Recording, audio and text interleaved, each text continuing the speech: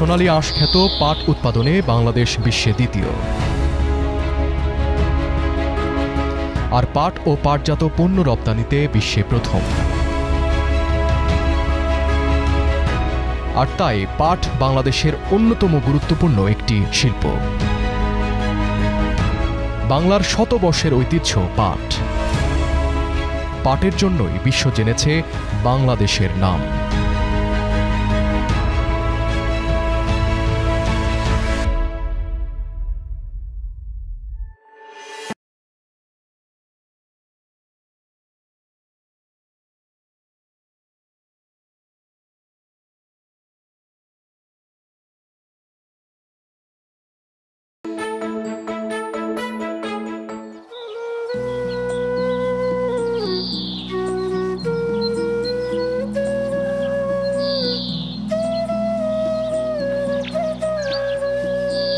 বাংলাদেশের রংপুর, বগুড়া, রাজশাহী, ময়মনসিংহ, পাবনা, ঢাকা, কুমিল্লা ও ফরিদপুর জেলায় দেশের সিংহভাগ পাট উৎপাদন হয়।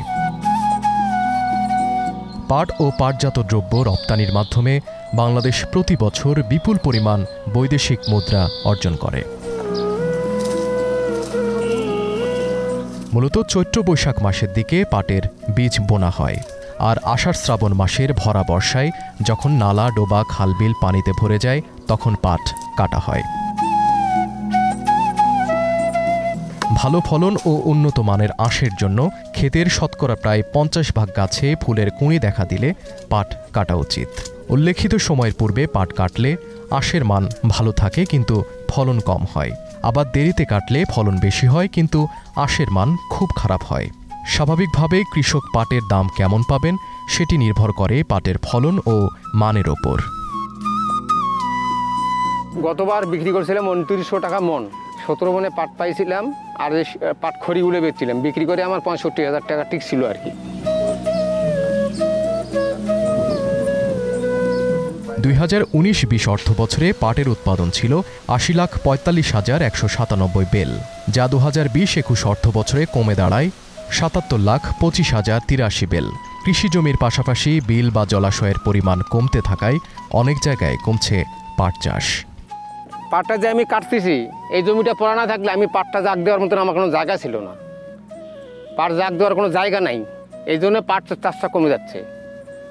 আর ধানের ফলনটা বেশি হচ্ছে, কারণটা হচ্ছে আমি ধান আবাদ করলে এখন তো মনে করেন চালের দাম বেশি, ধানের দামটা বেশি, এই যে বর্তমানে এখন এক হাজার টাকা ধানের মন। তো ধান মন করেন কাটলাম মাটলাম বাচ্চা আমি নিয়ে অলরেডি নিয়ে গেলাম। যে এখন গাড়ি বাড়াইছে, গাড়ি দিয়ে ধান কাটলে পাতারতে ধান একে ঝাড়া ঝুরা শেষ। খালি বস্তা করব, বাড়িতে নিয়ে যাব। তা পাটের তো তা হবে না। পাটের অনেক না এই জন্যই পাটের ফসলটা কমতেছে। লেবারের দাম বেশি। একটা লেবার পাঁচশো টাকা বীর ভাত খাওয়ার লাগে। বুঝছেন? এই কারণেই পাটের ফসলটা কমতেছে। পাট কাটার পর কাছের কোনো জলাশয়ে জাগ দেওয়ার ব্যবস্থা করা হয়। এই সময় এমনভাবে পাট ডুবাতে হবে যেন পাটের ওপর তিন থেকে চার ইঞ্চি এবং নিচে কমপক্ষে বিশ থেকে পঁচিশ ইঞ্চি পানি থাকে। সাধারণত তিন থেকে চার সপ্তাহ ভিজিয়ে রাখার পর পাটের আঁশ ছাড়ানো হয়। এই সময় নারী পুরুষ নির্বিশেষে কাজে নেমে যায়। পাট ধোয়া থেকে শুরু করে আঁশ বের করা এবং সেই আঁশগুলোকে একটি গোছায় পরিণত করা, এই সব কাজই হয় পরিবারের সবাই মিলে। শুকনা জায়গায় বসে একটা একটা গাছের আঁশ পৃথক করে পরে কয়েকটি গাছের আঁশ একত্রে ধোয়া হয়। এই পদ্ধতিতে আঁশ ছাড়ালে আঁশের মান ভালো হয় এবং প্রতিটি পাটকাঠি আস্ত থাকে। আবার হাঁটু থেকে কোমর পানি পর্যন্ত দাঁড়িয়ে পচানো আটিগুলোকে একটা কাঠের মুড়ি দিয়ে পিটিয়ে আঁশ ও পাটকাঠি আলাদা হয়ে যায়। আঁশ ছাড়ানোর পর প্রত্যেকটি গাছের আঁশের গোড়া সমান করে পরিষ্কার পানিতে ধুয়ে নিতে হয়। পাট ধোয়ার পর তা রোদে শুকিয়ে বাজারে বিক্রির জন্য প্রস্তুত করা হয়। ধোঁয়া আঁশ কখনোই মাটির ওপর বিছিয়ে শুকানো উচিত নয়।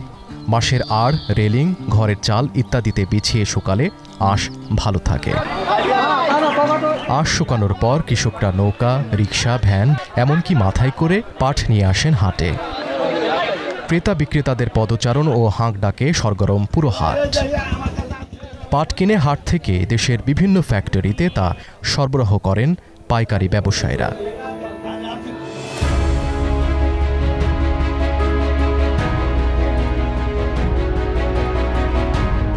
বাজার থেকে পাটগুলো পাটকলে আসার পর প্রথমে বাছাই করে নেওয়া হয়, যেখান থেকে সুরা মানের পাট বাছাই করে উৎপাদনে ব্যবহৃত হয়। বাংলাদেশের বেশিরভাগ পাটকলের মতো এই পাটকলেও প্রধানত বস্তা তৈরি হয়। এখান থেকে অনেক কিছু পণ্য তৈরি হয়।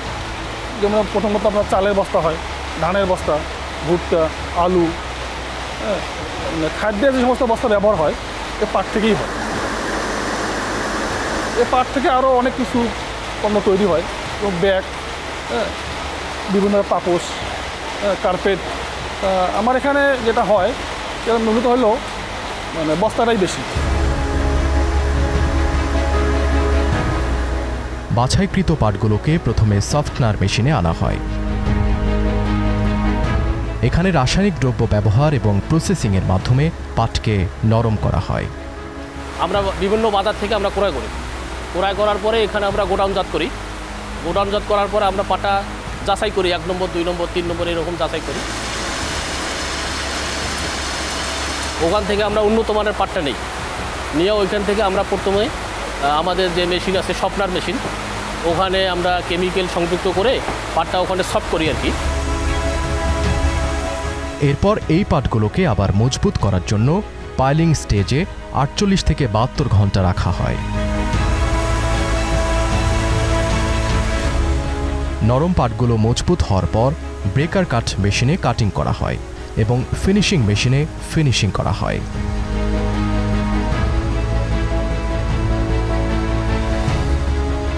এরপর মোট চারটি ধাপে বিভিন্ন ধরনের প্রসেসিংয়ের মাধ্যমে তৈরি হয় সুতা।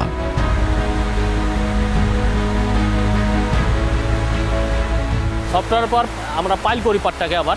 ওখানে ম্যাক্সিমাম আপনার আটচল্লিশ ঘণ্টা, বাহাত্তর ঘণ্টা থাকে। ওখান থেকে আমরা ব্রেকার মেশিনে দিয়ে পাটটা কাটিং করি। কাটিং করার পর ফিনিশিং হয়। ফিনিশার মেশিনে ফিনিশিং হয়। ওখান থেকে আমাদের পাটটা প্রসেসিংয়ে আসে আর কি। ফিনিশিং হয়ে আসে। প্রথম ডয়ারিংয়ে তারপরে আপনার সেকেন্ড ডয়ারিংয়ে যায়। তারপরে ইন্টার্ন ডয়ারিংয়ে যায়। তারপরে থার্ড ডয়ারিংয়ে হয়ে এটা সুতা তৈরির মাপ হয় আর কি। ওখান থেকে স্প্রিং মেশিনে যায়। স্প্রিং মেশিন থেকে আমাদের সুতাটা তৈরি হয়।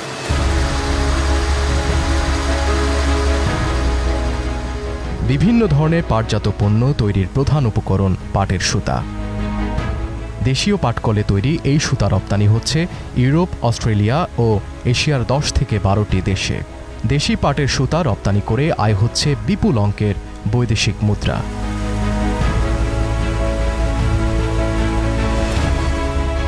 এই সুতা একদিকে রপ্তানি হচ্ছে, আবার দেশের বাজারের জন্য বস্তা তৈরিতেও ব্যবহার হচ্ছে। বস্তা তৈরির জন্য সুতাগুলোকে প্রথমে বেমিং রোল করে রাখা হয়। তারপর এই রোল দিয়ে অনেকটা কাপড় বোনার মতো করে তৈরি হয় চট। এরপর সেই চটগুলোকে মাপ মতো কেটে সেলাই করে তৈরি হয় বস্তা। সুতাটা হওয়ার পর আমরা রোল করি, সুতাটাকে রোল করি ম্যাগরোল মেশিনে এবং নলি তৈরি করি কপ মেশিনে। যে ওখান থেকে সুতা তৈরি হয়ে বিভিন্ন মেশিনে যায়, যেমন ম্যাগরোলে যায় কপ মেশিনে যায়, ওখান থেকে আবার বিমিং মেশিনে যায়। বিম থেকে আমরা তাতে আসি আর কি। ওখান থেকে তার থেকে আমাদের চটটা তৈরি হয়। কাপড় তৈরি হয়ে ক্যালেন্ডার মেশিনে আসে। ক্যালেন্ডার মেশিন থেকে ক্যালেন্ডার করার পর বস্তাটা সাইজ যে একটা মাপ থাকে, ওই মাপ মতো আমরা ওটা পিস করি কাপড়টা। পিস করার পরে সেলাই মেশিনে আসে। ওখান থেকে বস্তা ফিনিশিং হয়।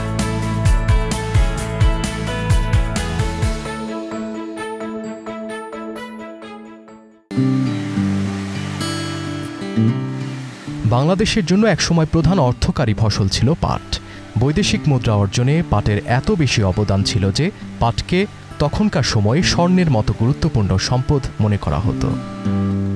আর পাটের আঁশের রং অনেকটা সোনালি, এইসব মিলিয়ে পাটকে বাংলাদেশের সোনালি আঁশ বলা হয়। একসময় বিশ্ববাজারে বাংলাদেশের পাটের চাহিদা ছিল ব্যাপক, আর বাংলাদেশের পাটের বাজারও ছিল বিশাল। আমাদের দৈনন্দিন জীবনের অংশ ছিল পাট ও পাট পণ্য বাংলাদেশে তো পাট আসলে একটা অর্থকরী ফসল। এটা শুরুর প্রথম দিক থেকেই ছিল। এই কারণেই আমরা পাটটাকে কিন্তু সোনালি আঁশ হিসেবে জানি। আর তখন মনে আছে টেলিভিশনেও বাজারে করতে যেত সিনেমাতে বাজারের ব্যাগের মধ্যে বা নাটকে একটা পাটের ব্যাগ থেকে একটা লাউয়ের ডগা, একটা শাকের মাথা বের হয়ে আসতো। তো এটা আমাদের একটা পাট মানে এবং পাটের একটা পাপোশ দরজার সামনে থাকতো। মানে এটা আমাদের লাইফের একটা খুবই একটা অংশই ছিল।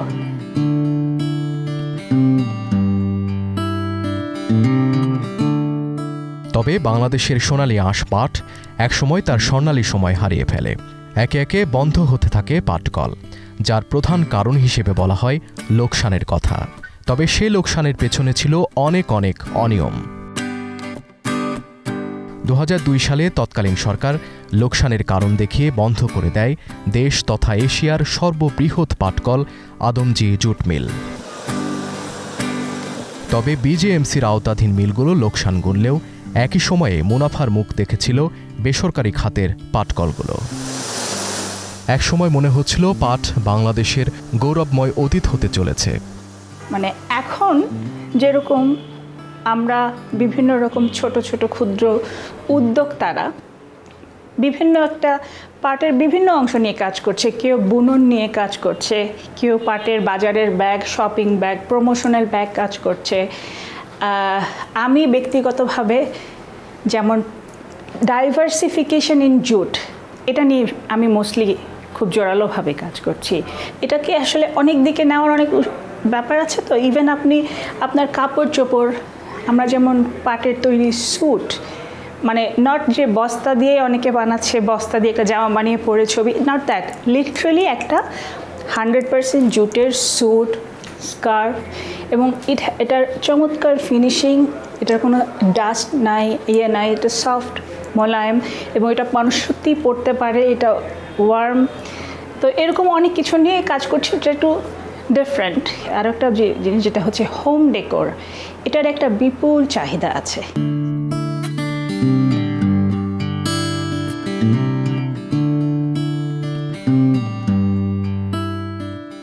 মাস্কারা বিনতে মোশাররফের মতো উদ্যোক্তাদের হাত ধরে তৈরি হচ্ছে নতুন সম্ভাবনা। পাটের নতুন নতুন পণ্য তৈরি ও বাজারজাতে কাজ করছেন তারা। আধুনিক সময়ে মানুষের চাহিদার সাথে তাল মিলিয়ে নতুন নতুন পণ্য তৈরি হচ্ছে পাট দিয়ে। প্রচলিত পাটের বস্তা বা ব্যাগ ছাড়াও তৈরি হচ্ছে bag, showpiece, table mat, floor mat, মেয়েদের গহনা, স্যান্ডেল, কার্পেট, শতরঞ্জি ইত্যাদি। প্রথমে হচ্ছে কি পাট জাতীয় পণ্যর কিছু অর্ডার ছিল। এখন হচ্ছে সেই জায়গাটা সুতলি মানে সুতার অর্ডার পাচ্ছি। এই পাট জাতীয় পণ্যের অর্ডারটা হচ্ছে বাইরের দেশে গার্মেন্ট সেক্টরে বেশি আছে। আপনার হচ্ছে কি ইটালিতে আছে, ফিলিপাইনে আছে ইন্দোনেশিয়া আছে। এদের ব্যবহারগুলো বেশি আছে। তো আমরা যদি এইভাবে করে সবগুলো সেক্টর বাই সেক্টরে চলে আসতে পারি, তাইলে আমাদের পাটের ব্যবহারটা আরও বিশাল হইতে পারে। পাটের ব্যবহার যদি বাড়ে, পাট শিল্পেরও প্রসার বাড়বে এবং আমাদের এই ইন্ডাস্ট্রিটা আরও হচ্ছে এর প্রসার বাড়বে।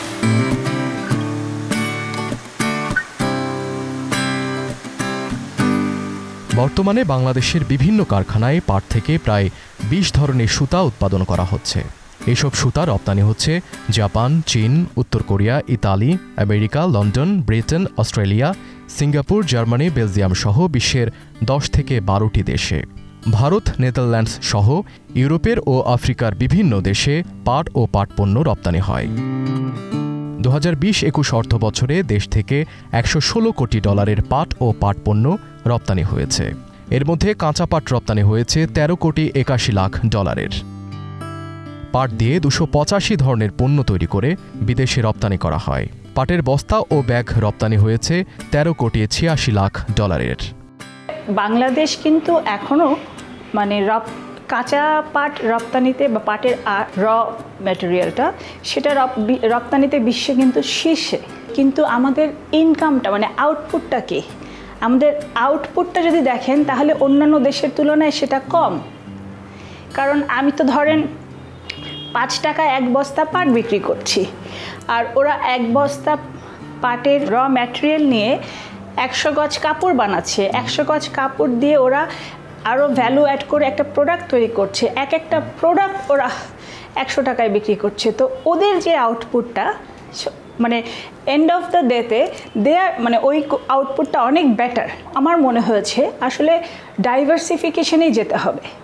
একটা ভ্যালু এডেড প্রোডাক্ট দিতে হবে এবং যেহেতু এই জিনিসটা সম্পূর্ণ আমাদের দেশে, এটার একদম পুরো চেইনটা আমরা পাটের সুতাটা মানে ইভেন চাষ থেকে শুরু করে পুরো চেইনটা যেহেতু আমাদের দেশের এবং যখন আমরা এটাকে একটা প্রোডাক্ট উপরে, একটা ভ্যালুয়েটেড প্রোডাক্ট হিসেবে যখন আমরা এটাকে বিক্রি করছি, তখন এই আউটপুটটা অনেক মানে এখানে পাঁচ টাকা, ওইখানে অ্যাটলিস্ট পাঁচ হাজার টাকা। মানে it differs a lot it make a really difference সোনালী আঁশখ্যাত পাট ও পাটজাত পণ্যে এবার জোয়ার আসছে। রপ্তানি আয় বাড়াতে সরকারের পরিকল্পনা অনুসারে পাট ও পাটজাত পণ্যকে অগ্রাধিকার দেওয়া হয়েছে। পাটের সুতার চাহিদা তুরস্ক সহ বিশ্বের কয়েকটি দেশে বাড়ছে। এসব দেশে বাংলাদেশের পাটের সুতা থেকে উন্নত মানের কার্পেট তৈরি করে বিভিন্ন দেশে বিশ্বমানের কার্পেট সরবরাহ করা হয়। একই সাথে সংশ্লিষ্টরা বলছেন, বিভিন্নভাবে পাটের ব্যবহার বাড়াতে হবে, তবেই ফিরবে পাটের সুদিন। আমাদের পাট পণ্যের মানুষ সব, সর্বপ্রথমে যে মার্কেটটা হওয়া দরকার, যেটা হচ্ছে আমাদের পলিথিন পণ্য আমরা যেগুলো ইউজ করি, সেগুলো রিপ্লেসমেন্ট হিসাবে আমাদের এই পাটের পণ্যটা আসতে পারে, যাতে আমাদের পরিবেশ সংরক্ষণ হয়। দ্বিতীয় নম্বর বিষয়টা যেটা আছে, সরকারিভাবে একটা নিয়ম ছিল যে কোনো জেলার বাইরে যদি কোনো পণ্য, সেটা খাদ্য পণ্য হতে পারে, বাণিজ্যিক পণ্য কিংবা তেল জাতীয় পণ্য, যেগুলো হচ্ছে আমরা প্যাকিং করি, সেই পণ্যগুলো সবগুলো হচ্ছে পাট জাতীয় বস্তাতে, সেটা হচ্ছে এক জেলা থেকে আরেক জায়গায় চল- যাবে। সেই কার্যক্রমটা যদি প্লাস্টিকের জায়গায় রিপ্লেস করা যায় তাহলে আমাদের এই ব্যবহারটা সুবিধা হবে। এরপর হচ্ছে কুটির শিল্পে কুটির শিল্পে এবং শৌখিন শিল্পে যে বিষয়গুলো আসছে, ইদানিং সেটা হচ্ছে ধীরে ধীরে বাড়তিছে। তো সচেতন হচ্ছে মানুষ বিধায় সেই জন্য আমরা হচ্ছে কি এই জায়গাগুলোতে এর ব্যবহারটা বাড়তে পারে। এখানে পাট আমাদের যেটা উৎপাদন হচ্ছে পাট মোটামুটি ভালো ভালো পাট এবং শক্ত পাট। আমরা তো এখানে বস্তা সুতলি এগুলো তৈরি করতেছি। এখানে আরও যদি আমরা এই- এটা গবেষণা করা যায় সরকার যদি সহযোগিতা করে তাহলে বিভিন্ন আইটেম যেমন পলিথিনের বিকল্প হিসাবে আমরা ব্যবহার করতে পারব আর কি। প্যাকেজিংয়ের ক্ষেত্রে যে জুট ব্যাগস বা স্যাক্স এটা ছাড়াও এই ভ্যালু এডেড যে জিনিসগুলো এগুলোতে এগুলোতে বিভিন্ন দিকে কাজ করার বিভিন্ন অপশন রয়েছে। এবং একটা ধরেন শুধু পাটের একটা ফ্যান্সি ব্যাগ একটা ল্যাপটপের ব্যাগ পাটের তৈরি, একটা অফিসের ব্যাগ হ্যাঁ? একটা আইপ্যাড ক্যারি করার ব্যাগ পাটের, একটা ল্যাপটপের ব্যাগ অফিসে এক্সিকিউটিভ কর্পোরেট অফিস ব্যাগ মেয়েদের ফ্যান্সি ব্যাগ আরও উন্নত মানের, গবেষণা করে উন্নত মানের পাট যদি আমরা পাই তাহলে আরও উন্নত মানের আমাদের প্রোডাকশনটা ভালো হবে। সাথে সাথে আমাদের মেশিনারিজগুলো যদি আরও উন্নত মানের হতো তাহলে আমাদের উৎপাদন ক্ষমতাও বাড়তো প্লাস আরও মান ভালো হতো আর কি। বর্তমান বিশ্বে পাট ও পাটজাত দ্রব্যের বৈদেশিক রপ্তানি আয়ের বৃহদাংশই বাংলাদেশের নিয়ন্ত্রণে রয়েছে, যা মোট বিশ্ববাজারের প্রায় পঁয়ষট্টি শতাংশ। সোনালী আঁশ খ্যাত পাট উৎপাদনে বাংলাদেশ বিশ্বে দ্বিতীয়। উৎপাদনের পরিমাণ তেরো লাখ পঁয়ত্রিশ হাজার টন, যা বিশ্বের মোট উৎপাদনের বিয়াল্লিশ শতাংশ। প্রায় বিশ লাখ টন উৎপাদন করে প্রথমে ভারত, যা বিশ্বের উৎপাদনের পঞ্চান্ন শতাংশ। পঁয়তাল্লিশ হাজার টন নিয়ে তৃতীয় অবস্থানে আছে চীন। তবে পাট ও পাটজাত পণ্য রপ্তানিতে বিশ্বে প্রথম বাংলাদেশ। গবেষণার মাধ্যমে পাটের মান উন্নয়ন এবং পাটজাত পণ্যে আরও নতুনত্ব আনতে পারলে বাংলাদেশ হতে পারে অনুকরণীয়। মনে রাখতে হবে, বাংলাদেশ ছাড়া আর মাত্র দুই তিনটি দেশে পাট উৎপন্ন হয়। তাই অন্য যে কোনো শিল্পের তুলনায় পাট ও পাটজাত পণ্য দিয়ে এই শিল্পে বিশ্ববাজার নিয়ন্ত্রণের সম্ভাবনা রয়েছে বাংলাদেশের।